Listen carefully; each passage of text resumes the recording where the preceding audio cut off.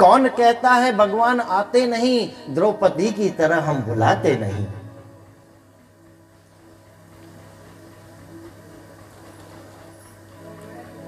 कौन कहता है, प्रभु प्रेम करते नहीं, गोपियों की तरह हम निभाते नहीं। और ये नहीं सोचना कि हम रोज जप करते हैं, ओम ओम ओम, बापू जल्दी बाहर आओ, बापू जल्दी बाहर आओ तो बापू क्यों नहीं आते हैं? तो बापू जी को आपकी प्रार्थना स्वीकार हो रही है, लेकिन अच्छी लग रही है, इसलिए कहते थोड़ी और होने दो। थोड़ी और होने दो। एक कहानी सुनिए। एक सेठ अपने घर पे खड़ा था ऊपर, बंगले पर। नीचे से एक भिखारी भजन गा रहा था। सेठ को आवाज़ आ रही थी, भजन अच्छे लग रहे थे। एक भजन, दूसरा भजन, सेठानी ने कहा, जब भजन अच्छा लग रहा है तो उसको कुछ दे दो। तो बोला, सेठ ने बोला हाँ दूँगा दूँगा, लेकिन भजन चलने दो। सेठानी ने थोड़ी देर के बाद फिर कहा कि, अरे भाई, और कितनी देर खड़ा करोगे? और और होने दो।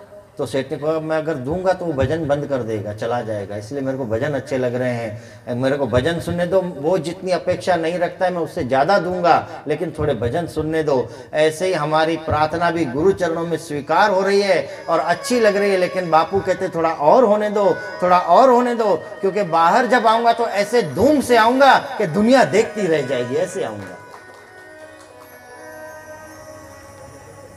इसलिए इस बात की चिंता न करें। चिंता इस बात की करें कि हम साधना में कितने आगे बढ़े हैं, हम सेवा में कितने आगे बढ़े हैं। बापू जो अब हमको जैसा छोड़ के गए थे, उससे आगे बढ़े हैं कि पीछे आए हैं?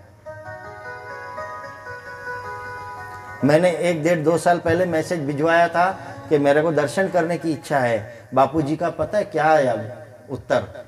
बापू जी ने कहा, उसको बोलो, मन में दर्शन करो, इधर मत आओ। अब मन में दर्शन करने का सामर्थ्य कौन देगा? वही देगा। तो हम हम कॉलेज की पढ़ाई करें।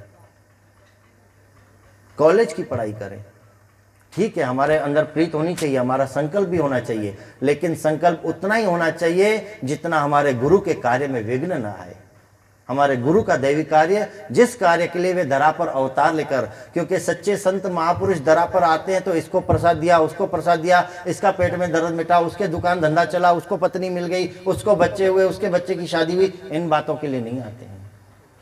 वे आते हैं भवरोग मिटाने के लिए, वे आते हैं जन्म मरण मिटाने के लिए, ये छोटी मोटी बातों के लिए नहीं आते हैं, वे तो आते हैं इस काम के लिए।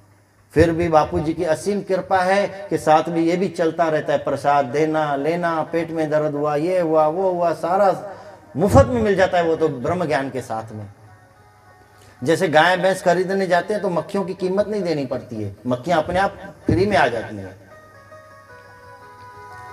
तो सचमुच में अपने आप को हम भाग्यशाली समझें कि ऐसे पूज्य नारायण साईं जी, ऐसे बापू जी धरा पर अवतरित हैं, हमारे बीच हैं और हमको सत्संग ज्ञान दे रहे हैं। आज हम ये सोच रहे हैं कि बापू जी बाहर आएँगे तो हमारा कल्याण होगा, हमको सत्संग मिलेगा, लेकिन उन कैदियों का कल्याण कौन करेगा जहाँ आज गए हैं?